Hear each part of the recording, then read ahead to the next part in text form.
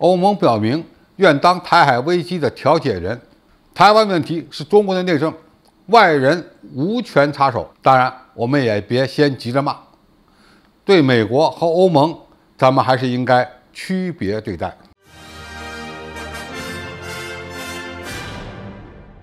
观众朋友、网友朋友，大家好，我是付天少。在佩洛西窜访台湾地区，引发台海危机之后，美国利用 G7 共同发表声明。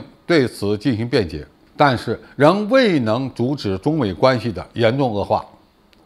在中美较量的大棋局之中，欧盟被认为是中美都想争取的关键力量，所以欧盟对台海紧张局势的表态也值得我们关注。欧盟外交和安全政策高级代表博雷利表示，对佩洛西窜访台湾地区所引发的台海紧张局势升温。表示严重关切。最关键的一点是，欧盟首次表态，尝试充当调解人，并表示欧洲领导人无意访问台湾。博雷利强调，欧洲委员会主席冯德莱恩不会访问台湾地区，因为这使得与中国大陆的关系特别微妙。我们必须避免给中国大陆一个加剧紧张局势的借口。博雷利声称，佩洛西有权利访问任何地方。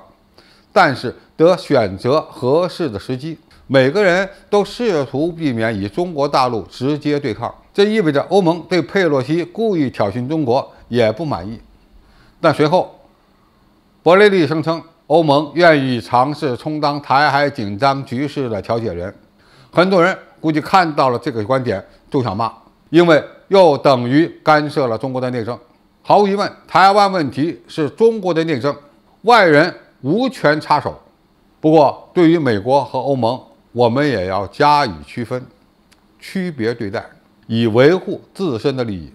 从全球战略格局的角度看，美国在实力相对下降以后，非常有意愿在台海塑造一场危机，从而达到消耗中国大陆的目标。而欧盟其实是对中国的处境能够感同身受的一方，因为俄乌冲突也是美国对俄罗斯战略打压的结果。目标同样是捆绑欧洲，打击欧元。欧盟与美国的意识形态相似，欧洲议会的议员也经常窜访台湾。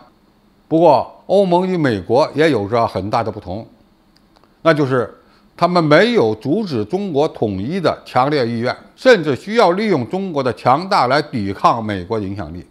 所以，美国说关切台海和平，实际上就是在说反对中国统一。而欧盟所说的愿意尝试充当台海紧张关系的调解人，很可能更多的是出于自身利益的考量，因为他们担心，如果台海发生军事危机，会严重冲击全球产业链，对欧洲的经济也会造成严重影响。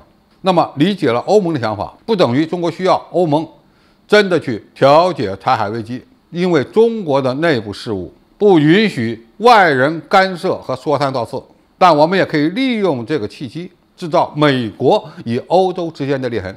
中国完全可以在未来进一步就台海问题与欧盟国家加强沟通，表达中国大陆对台海局势的真实想法，表达我们实现海峡两岸统一的强大意志，并且可以利用欧洲与美国的关系，向美方施加压力。